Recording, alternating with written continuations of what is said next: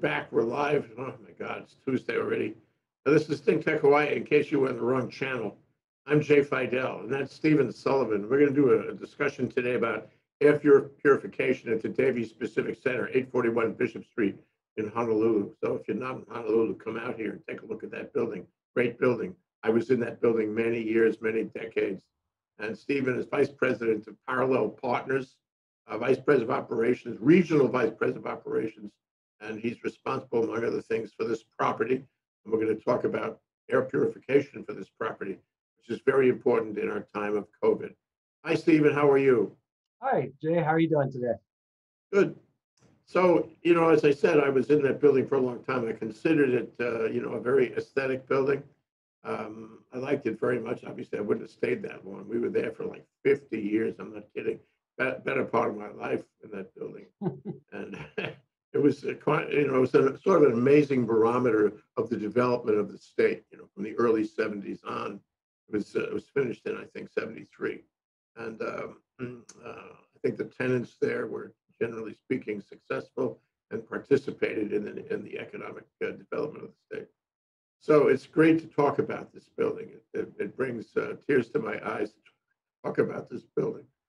So we're talking today about air purification. Now, now, we have talked on this show about many incidents of air purification in many mm, commercial circumstances in the state, uh, but we haven't talked about it in in, uh, in, in office buildings. And I guess we, we missed out on that because office buildings are very important. Um, and office buildings are part of the reopening, like it or not. So how has business been? How has how has the office tower business been over the past year? That we would now, you know, focus on air purification? So that's that's an it's a very good question. Um, as you know, the word for this year is uh, pivot, or for 2020 into 2021. So a lot of building owners and operators have had to um, make adjustments so that uh, one to enhance the cleaning measures that we do at our properties. Um, we've looked at different systems that essentially would make uh, cleaner indoor air quality standards. And um, it's it's just a it's an it's a normal situation for any building operator to continuously want to transition and improve the quality of um, the product that they're providing. But for us, I, we have um, Davies Pacific Center, uh, Waterfront Plaza, as you may be aware, and actually at Waterfront Plaza, we're doing vaccination parking for Pier Two, um, and then we have Waikiki Marketplace and uh, one other asset. So we've we've uh, we're we're surviving. I mean, it's it's uh, we, we go week by week. Obviously, as the tiers improve and uh, vaccination, uh, we get closer to herd mentality. It's it's definitely a good thing for all of us.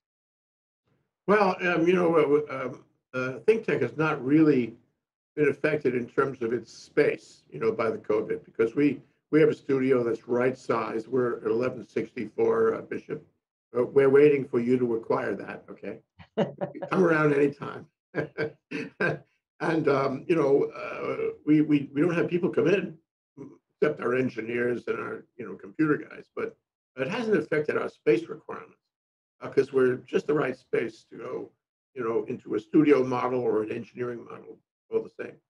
So now for you, you probably have tenants, you know, I mean, the, the trend anyway over the past several years is, especially for the nationals, to, is to reconsider the amount of space they use. So you know, national firms that, you know, had 10,000 feet of space have shrunk their mm-hmm. use of space. And I imagine um, that, um, you know, a lot of people, a lot of tenants, including local tenants, have shrunk their space during COVID. You know, they, they didn't come in at all. And uh, when, when renewals came up, they said, thank you very much. We're not doing this. So you, you probably had a reduction in, in occupancy. Am I right? It, it, it varies. Um, so, for example, uh, one of our projects, uh, at Waterfront Plaza, we're we've been able to maintain occupancy rates in the high 90%. So mm-hmm. we're we're very we're very fortunate. We have a lot of government medical tenants. They're not shrinking. Um, healthcare, etc. And then your normal office tenants. But what's interesting is as we went into COVID, I would say that some parts of the market was looking at, you know what, maybe we need to, to, to downsize or work from home. But then they realized that they lose that bit of collaboration and those those opportunities to to to mentor to work with others And so we're we're kind of seeing. I'm not saying that we're back to normal yet, but we're definitely seeing some uptrends. Uh, I, I'm I'm very excited, especially at, at the retention rates we have at our property is really high. Um, so we, we definitely want you to come back when you're ready. Um, so we uh, we we can certainly find a space for you. But yeah, we're we've been we're positive. We're very positive. I mean, parking is probably taking a big hit for all owners. Um, as you have less people going to nightclubs and bars and Kakaako in general. Um, parking's taken a little bit of a hit, but uh, that'll bounce back as well. So we're we're very we're very optimistic. Yeah, uh, sure. You know, and you know, when when people make this kind of analysis, and they're making it now, you know, you know, I learned a few things about how to do business during COVID. I am now considering the moves I'm going to make, um, you know, in the reopening. Um, and I I like operating by remote. I like the virtual. I like Zoom and all that. Um, and and that's persuasive for a number of reasons. It's it's not just that we can talk and have a one-on-one engagement like this here today. I'm getting to know you, Steven. Um, but but it's also because of driving, right? And all the things that go with driving and parking and all the things that go with parking. You know, when I got out of law school, my first my first boss said to me, Jay, he said, never underestimate the power of parking. that was a long time ago. and I think of that, you know, very often about parking. So if I'm if I'm a, a tenant, you know, making this decision about what I'm going to do on the way back, I think about parking. And Yes. so, uh, you know, it's it's the cost, it's the convenience, it's the the mm, the dynamics of the parking lot and all that. It's part of attracting them back to say, we're going to make parking easy for you. Uh, you know, we're, we're going to do what we can, not not to have that as an obstacle. That, and that's that's a really good point because we so we are exploring different things. So for example, at, at Waterfront Plaza, we are looking at some uh, future things as it relates to parking. But we've actually installed at both Davies Pacific Center Waterfront um, license plate recognition. So you can just once you're in as a tenant, you just drive in, you drive out, you get that full VIP experience. And then we also have valets at Davies Pacific Center. So I don't know if you, you knew that, but you just drive to the valet on the top floor and they'll go ahead and park the car for you. Um, so we we made that a little bit better. And Jay was correct when um, Jay made sure that the stalls, we have some of the biggest stalls in downtown. And so you if you have a luxury car, it's taken care of. But I personally like driving because I have a Tesla and it's just the coolest car to drive in the world. So that's just me.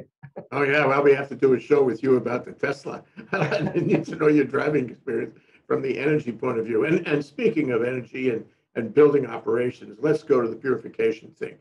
Um, so this is obviously part of a a thing to be able to say a branding thing, uh, a de facto thing to be able to say your tenants and visitors that this building is safer than other buildings. This building is, you know, your risk here is less. Um, and so um, this is happening elsewhere. The hotels are doing this. The unions are demanding it, you know, in the hotels. Uh, and in fact, any business. Uh, if I go to my doctor's office, you know, he has air air, purification. You know, saying that's good. You know, and what it, it sends me a message that he cares. You know, that he's using technology, that he's at the cutting edge, and that I'm I'm safer there. Uh, so any business would, would use this. And I, I'm, you know, hats off to you guys for having thought of this and having, you know, installed it. So tell me, what's the technology? How does it work? How does it make me safer? Sure. And it's a there's a much larger picture, but we'll focus on this aspect. So as a building operator, there's a lot of things that go into an HVAC system or heating, ventilation, air conditioning system. And so we're just focused more on the filters and how what it filters, right? So as you as we mentioned, buildings are a little bit older in downtown Honolulu. Uh, we were looking at an efficient means of, um, I would say, just providing cleaner air. And so bipolar ionization was one of those methods that we could do. Relatively easy to install. You install it um, in every one of your, your AC systems located on each floor, just, just to dummy it down. And you essentially just need an electrical source about the same as the requirements of an iPad. And the cleaning of it is very simple, like literally go in, wipe it down when you do your quarterly inspections. Um, and the life cycle is about seven to 10 years, but they believe it might actually last 20. And what it does is it, it, it it's ions. So ions are naturally occurring. Um, as you know, before electrical storm, for example, you get a high concentration of ions. It helps clean the air. Well, this is what we're doing. When you get into a, a, a commercial building or any building, your um, the, that, those concentrations of ions go quite a bit down. And I'm not a scientist, so I explain it the best that I can, but those concentrations of ions are much less. And so what this does is it's artificially creating both positive and negative ions, which attach to particles, um, uh, items like, you know, I'll use COVID. Uh, COVID would be a, a good one. It'll attach to these things and basically neutralize them or make them ineffective. And it makes your filters work better, if that's the easiest way to put it. Okay, so, and, and it operates across on electricity. You, you have to, you have to plug it in in some way. Yes. It uses the electricity to create the ions and, and the ions, what they, they, uh, they- essentially fry, fry the, the virus and it drops. Am I right? Yes, that's the easiest way because there's when you start talking about the different technologies, there's UV, UV hyphen C, you know, light, for example. Well, that's that works, but it can only work on things it can see. And then if you see it and it sees you, it can burn your retina. You know, so there's there's there's goods and bads with that system, but um, that's an option. I mean, the other one, of course, is ozone. Ozone is bad. You do not want you do not want that in your your indoor environment. So this was a clean, uh, safe op- option that uh, was relatively inexpensive, and we started implemented it in several properties, not just in Hawaii. Uh, I believe the first installation was in one of our buildings in Arizona, and we're we're doing it in California as well as some other locations. So we're just we're just happy. It's the way we look at it. It's another tool in our belt. We still need to make sure those systems are maintained and ran properly. You still want to get as much fresh air as the system is designed. Um, but this is just another tool in your belt to provide your tenants with the peace of mind that they can come back to their offices and work safely. Does it require any maintenance? It's very minor, like white, it's wiping down what's called needle points, um, which is where the ions come out, but it's very minor. It's a, It's in-house, in-house staff, yeah, staff in-house can do it. You don't have to bring anybody in from the outside to do it. That's correct. And and one part that you kind of have to do, and this is with any of those type of applications, is you still got to measure it, make sure it's working and operating efficiently. And so there is like an ion counter that you got to use to test. And so after we installed it, we're we we're right now 90% where we want it to be. So we're doing some minor calibrations on a couple floors, but yeah, we're we're up and operational. So we're very happy. Uh, It's actually all installed, at least for Davies, it's all, it's all there fully installed. Yes, so Where Oh, does I'm it sorry. go? Where does it go, Steven? You know, eh, so you have a, a chiller, I assume that, you know, that may be old technology, but chillers are still, Yep. they rule the roost in air conditioning in office buildings. Um, they have a chiller and then the chiller, uh, cools the, the air and, and runs it through, you know, these, these ducts and the like all through the building. And then it returns, you know, up to be chilled again and so forth. So where, where do you physically attach these devices?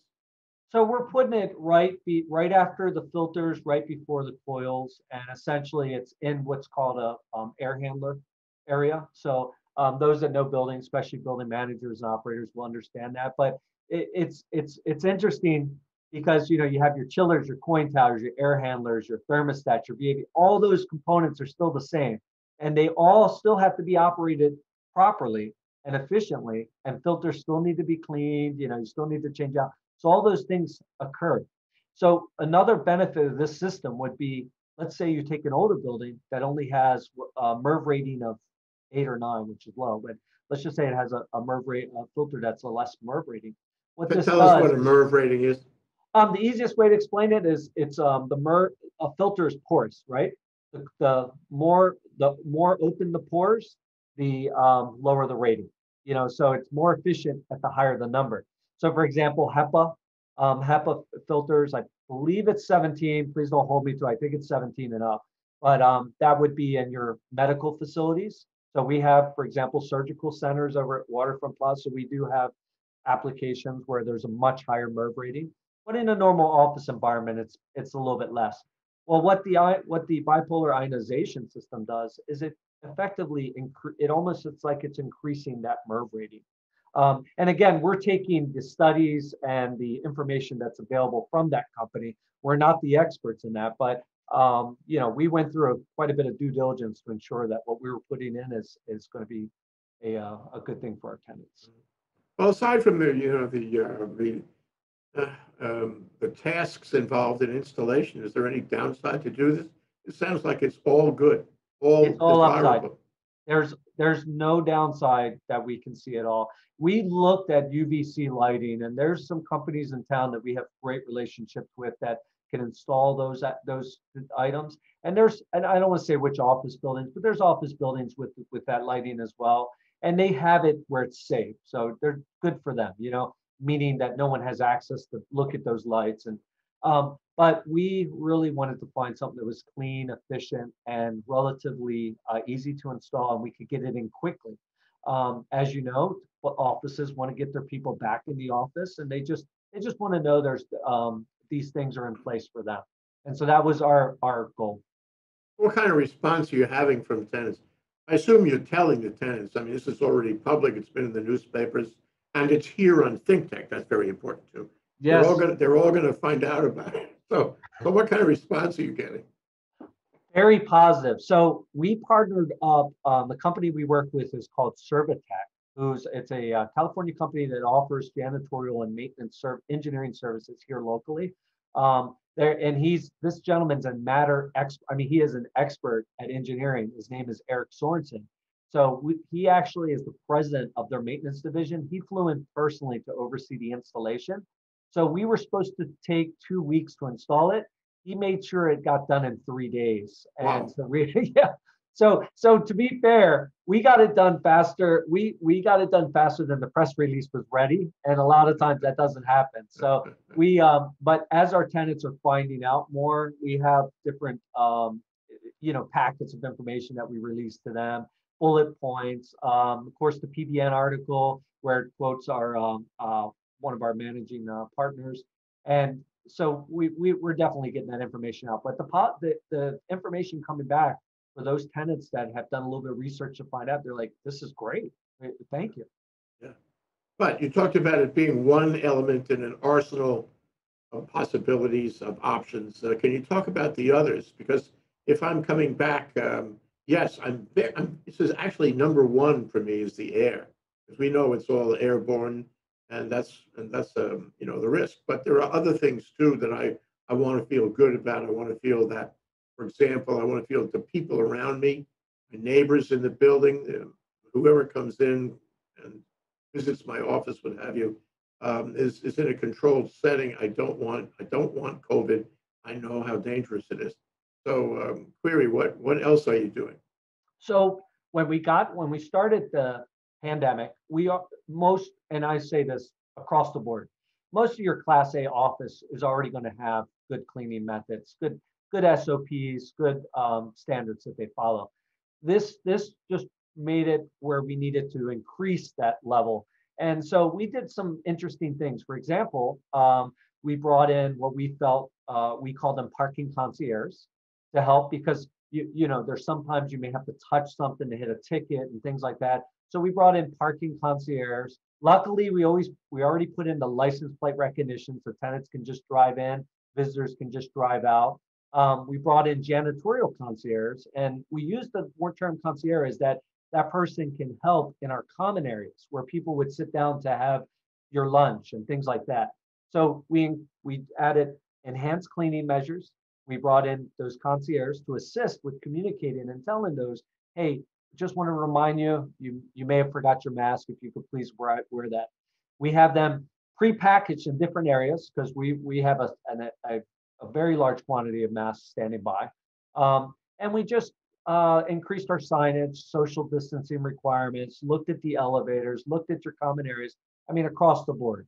And then it's after you get through all your pre, you know, when we, you have to get into a reactionary standards as well. The reactionary standards is if there's a reported case, how you handle, okay, where did that person eat? Where did, they park their car? Who did they visit? Which restroom?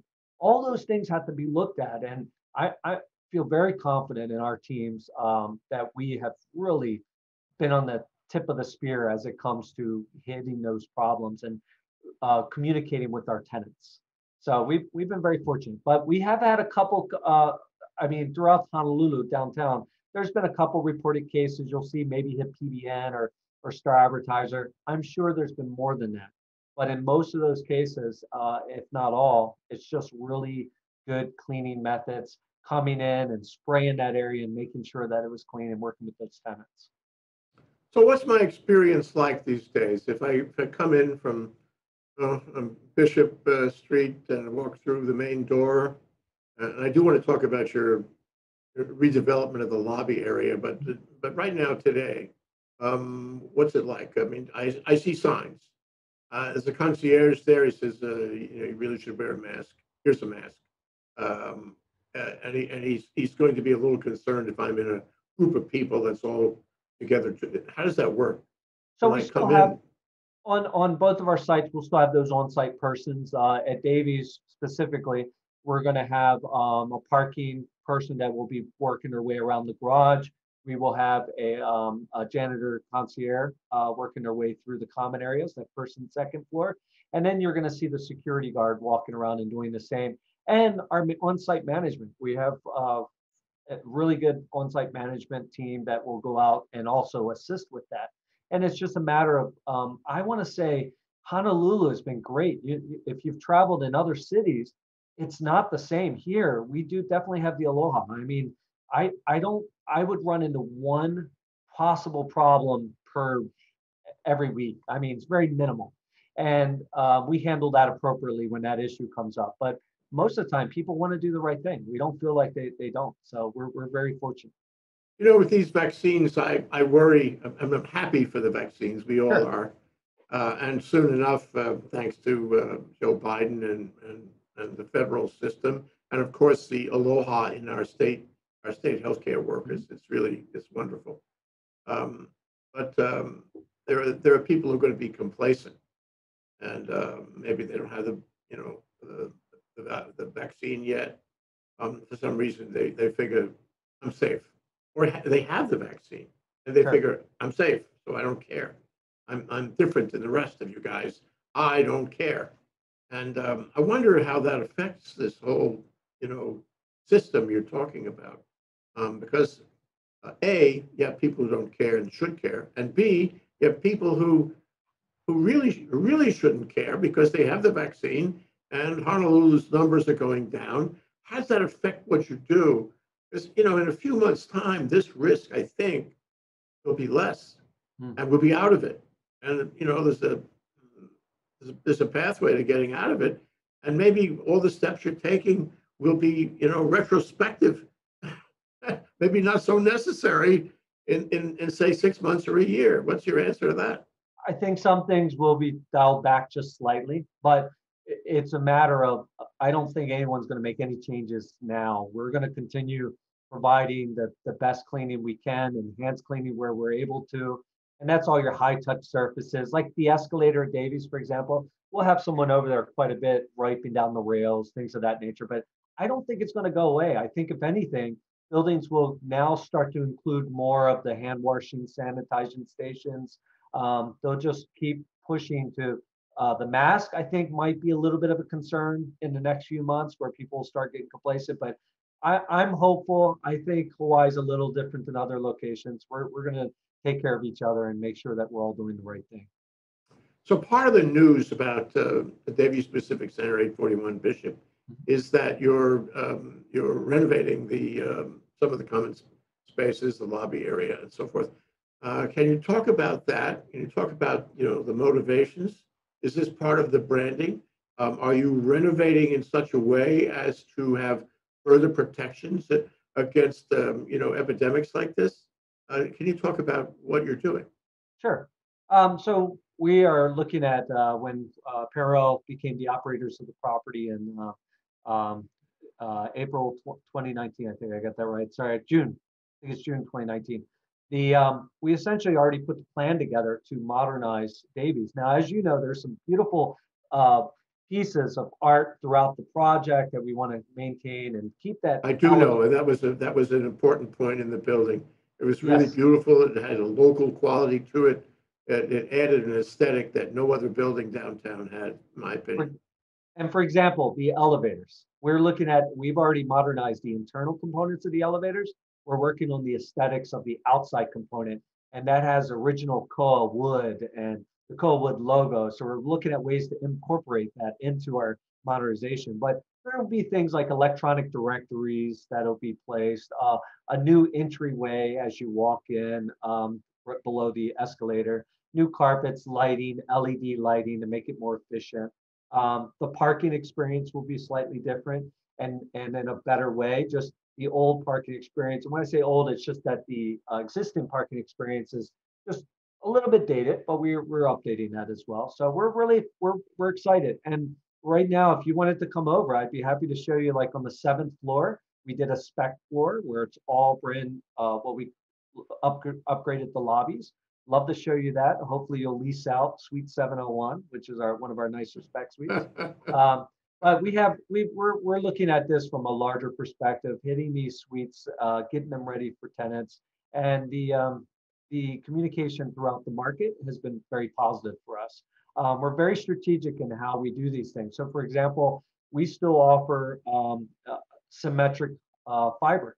We have fiber coming into the building to the tenant space. So when you go into your space, flip of a switch, you can jump to one gig of service. Of course, you're paying for that additional service, but it's that easy. The phone call registration, it's already wired for you.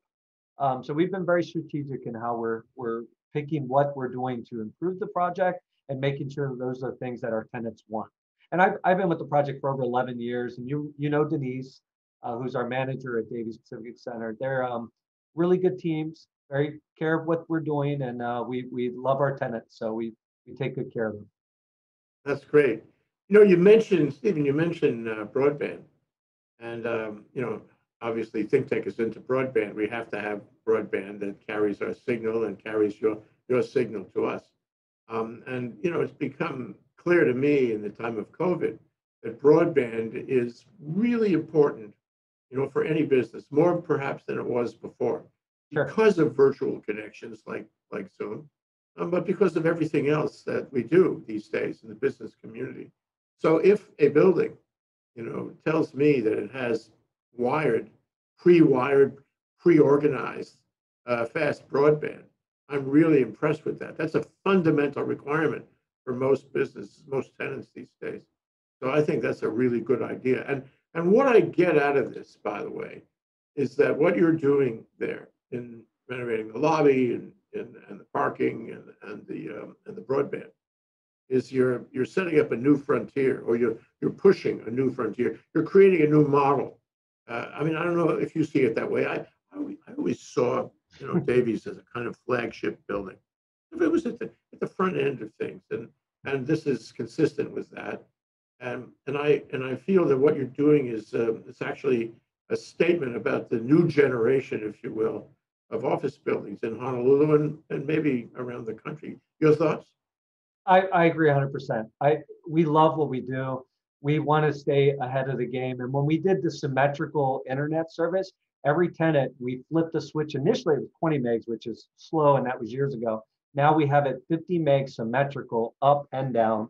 And then we offered in our common areas for like Waterfront Plaza, we flew 100 a 100 meg Wi-Fi signal throughout all our open areas.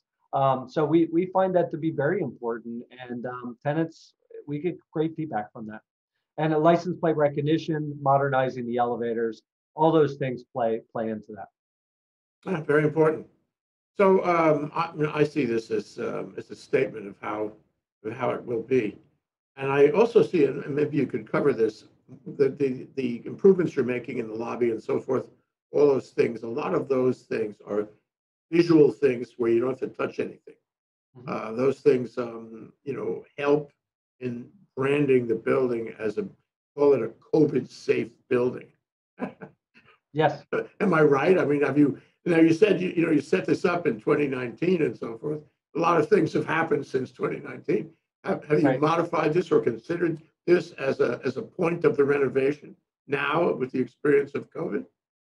absolutely. And there's a lot of infrastructure improvements that all we've done prior to coming into COVID that were already accomplished. Like at Waterfront, we spent uh, quite a bit to upgrade our entire chiller system. Um, Davies, we've upgraded chiller elevators. You can imagine. So a lot of those things tenants don't necessarily see because it's behind the scenes, but that shows our commitment in ensuring that our buildings are are going to be at the top of the line for years to come. So So we talked earlier about the space requirements and so forth. And, uh, you know, I think a lot of, a lot of companies are thinking now, now really, about how much space they really need and what the new office model is, you know, how much is going to be virtual, how much, as you said, you know, you need personal engagement, you need, a, you need to be in a conference room. You have to, you know, see the sweat on his brow to make the deal, whatever it is. And, um, you know, they're, they're, they're considering those things, both the nationals and the locals. And query, you know, is architecture, is building out, the building out process, uh, you know, in a building like Davies changing or will it change because of, you know, tenant preferences in terms of space and design in, in the new post-COVID, or at least um, hopefully post-COVID world? it's it's pretty similar, but the difference is I, I think tenants looking at in the market, they're they're not sure if they should do the open concept or do back go back to the private offices. And again, you go back to the collaboration and um, you want to add those things that you're trying to compete against another company. And so I think it'll be a little bit of a mix. And like Zoom for me is just one tool in our belt. We don't we don't use this exclusively. We still like those face-to-face meetings if done safely and socially distant. But um, uh, we use it when we can to just be more efficient with our tenants. So I, I think it's a it's a mix. It's a mix. I would say um, we're we're still building out spaces. We're still doing the carpet and paint, as you can imagine, years past. You still add those private offices, so none of that has changed. And we already wired uh, for the uh, um, the fiber, so that's that's a positive. Um, but I think tenants are um, they're cautiously optimistic.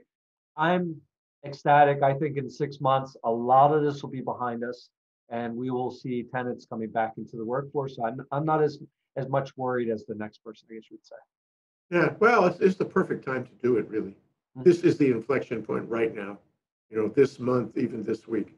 Um, and, and query whether other buildings are doing this of their own motion or whether they're following you. I mean, you know, do we have a trend going on? Where you, where do you fit on the trend line? Trend line in terms of uh, when new tenants are looking, or No, other, other buildings doing these Oh. kinds of things. Um, I mean, I think all the buildings are competing for that same, you know, those same ten thousand square foot tenants. I, I think it really comes down that if we're all competing on a, a level playing field, then it's going to be the people that are operating those buildings and how that relationship is. And uh, I, I think it's important. So we we put a lot towards our instead of just customer service, customer loyalty. When we we get that tenant, I, I want you to stay at the building for 40 years. And so it's my job to make that uh, a- an experience that you'll remember. So I want to say it's moving towards a little bit on the hospitality side than just running an office building. But I, I welcome it. I mean, I've been at Waterfront for 11 years. And again, we rarely lose a tenant. And it's normally because they moved to the mainland or something of that nature. And we, um, we're, we're just been very fortunate with the tenants that we've gotten. Yeah, and you know what? It's not only office buildings. I mean, this kind of technology, your Mhm. approach to it. Um, I think, you know, lots of other kinds of, mm, you know, high-rise type buildings would benefit from this. I mean, I remember in the early days of COVID, everybody was, uh, including, especially including the, uh, the hospitals and healthcare buildings, were using uh, ultraviolet light. And it became clear that you, you couldn't be in the same room as the device. Otherwise, you'd hurt yourself with the light and your eyes and so forth. Yes. Um, so they would benefit to, to know what you're doing. And I think after a while, it'll all settle down where these things will become, what do you want to call it, building standards. So Yes. you're achieving a new building standard here. And I think that's probably going to ripple right through the, the community, not only for office buildings, but for all, all multi-story buildings. I and I agree. We when we did the parking license plate recognition, um, we were one of the first office properties to do it. Um, I would say other buildings shortly thereafter followed suit.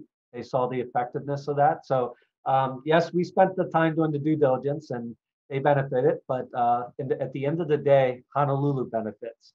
So we've all, you know, all have i- i- increased that level of service. So And that's kind of how it's going to be across the board. You, one building will do something that's great, and others will follow suit. And um, yeah, that's that's normal. But we just have a phenomenal uh, team. I mean, I worked for Shiler Group for 10 years, and then we moved over to their uh, one of their partners, uh, Capital Partners, and it's been a great company. I mean, they're just they're cutting edge. They're top of line. We do deals quickly, um, and that's important when you're in the leasing negotiations. Uh, we've just got a really good team, and then um, yeah, we've just been very fortunate. So That's great. It's great to, to see you and talk to you, Steven. I, feel like I to, I to walk down, down Bishop Street and visit the building, say hello to Denise, all that. Yes, uh, And, and see what it looks like. I would think welcome we- you to stop by.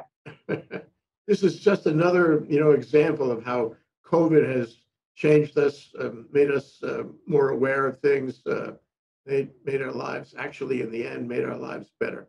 Well, thank you so much. Steven Sullivan, Parallel Partners and the Davies Building, 841 Bishop. Thank you so much.